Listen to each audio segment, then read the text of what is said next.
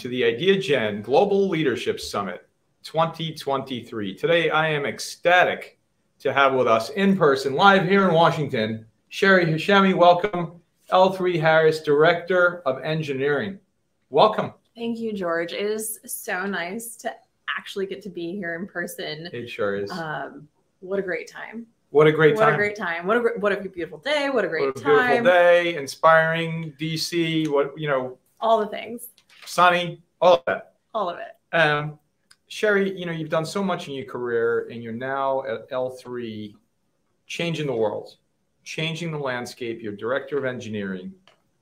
Can you kindly give our global audience, the millions of people that will watch this interview, a little bit of background on what you're doing at L3? I know there's a lot, Yes. but a little bit of background on what you're doing. Um, so the, the background on what my team is specifically doing, um, I've got teams stateside and over in um, Abu Dhabi and um, working on building our presence over in Europe um, with the ultimate objective of building up strong, resilient communication systems. Uh, the backbone of everything that we do is communication and ensuring that systems, technology, capabilities, equipment uh, can ensure that is, you know, what we're ultimately after. Wow. Well, it sounds like a very important role.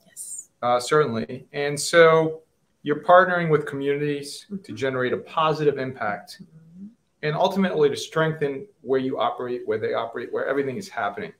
How do you do that? Um, we have a phenomenal program, um, and there's a lot of emphasis, like, um, you know, the the funding that we put towards um, United Way, uh, local organizations, schools, um, just really digging into um, the areas where communities could use some extra support, some mentorship. Um, we go across the board um, to help raise money and then also to give our time to feed back into the communities, especially with um, with kids. And so we're talking about global leadership. Sheri, how would you describe your leadership style? You know, I've, been thinking about that, um, and I think from a from a textbook standpoint, um, probably transformational leadership, um, which is morphing um, to the nuances um, and I think some of the refinement that's needed as you continue to grow and expand um, as an individual and you start getting into different groups. You've got to um, find a version that's authentic to yourself. I think it's great to have the baseline for um, some of the more textbook constructs of what leadership is, um, but ultimately driving down to what's authentic Right. to you is really important. Authentic. I love that you said that. And so, what are those qualities that you believe are so critical for effective, authentic leadership? Oh, goodness, qualities, effective, authentic leadership. Um, I think it starts with listening. I think being able to actively listen, I think being able to um, be present, I think showing up for your teams, I think listening, I think partnering um, are, are really key pieces to being an effective leader. Um, and where I sit today with my team, I've got about 200 folks and growing. And you've got to you've got to adjust. You've got to pivot. We've got multiple cultures. We've got multiple time zones, um, various different backgrounds, and so you've got to pick and pull what's ultimately effective for them as well. You know, so authentic starts out what's true to you um, and what you believe in, and holding firm to those beliefs. And then I think um, dialing in what is ultimately the most effective. Um, and a simple example is um, communicating. So if someone just really isn't going to feel comfortable in IMing and typing, um, you know, pick up the phone Right. call. Right. Or if someone's really going to value just sitting in front with them Yeah. and having a seat and talking just like we are, you know, it's just, I think those are where the refined authenticities come from in recognizing those individual elements to be able to optimize those experiences. And and so I'd love to hear for our global audience's benefit your journey. What has been your personal journey, your leadership journey Oh my. to where you are today? I think um, it ultimately started as a kid growing up with my dad on the farm. um, and just tackling challenges and problems. Um, you know, things break on farms and you got to fix them. And I was just always fascinated with how things worked. Um, and I think being able to, you know, I, I, I, love interacting with people. I love the the human element to the problems that we're solving.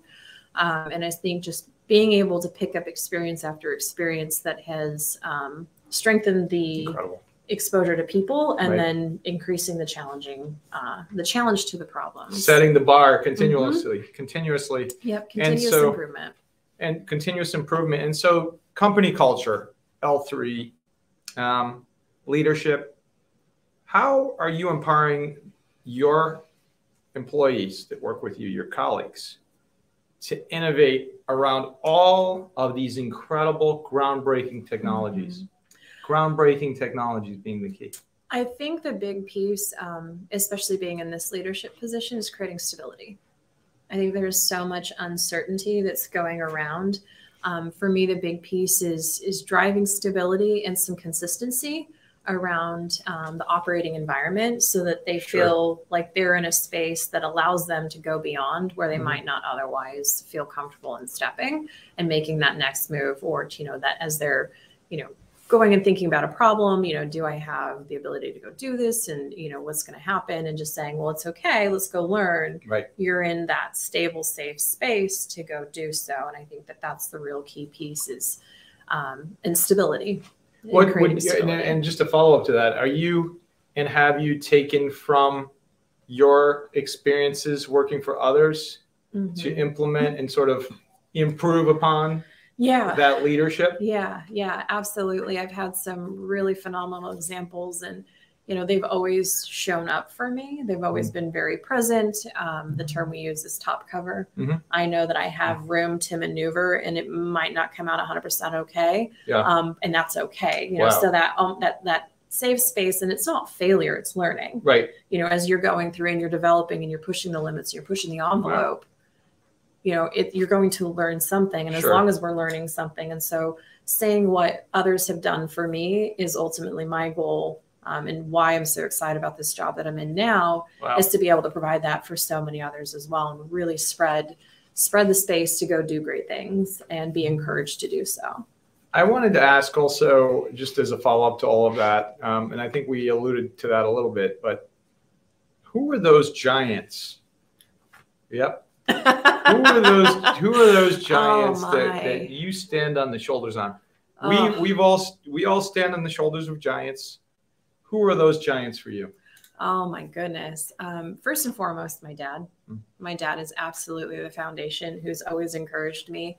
Um, the list is so long. Um, you know, Kim Smith, Candace Smith, Amy Hopkins, um, there's just you know wow. just just to start on the surface, Dr. Sure. Alam Dari. Wow. Um, it's just phenomenal to be amongst so many giants who are also as encouraging um, yeah. and, and, display the level of encouragement that I think others need and have enabled me to be comfortable in taking those steps to do more. Sheri, that's so inspiring. What is your call to action for the global audience watching this across the planet what is that call to action? And separately, but connected, how can they learn more about your work at L3 Harris?